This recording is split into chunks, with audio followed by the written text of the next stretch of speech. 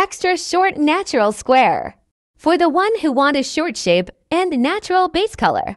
If you have tiny nails and want to make quick good nails, don't miss it.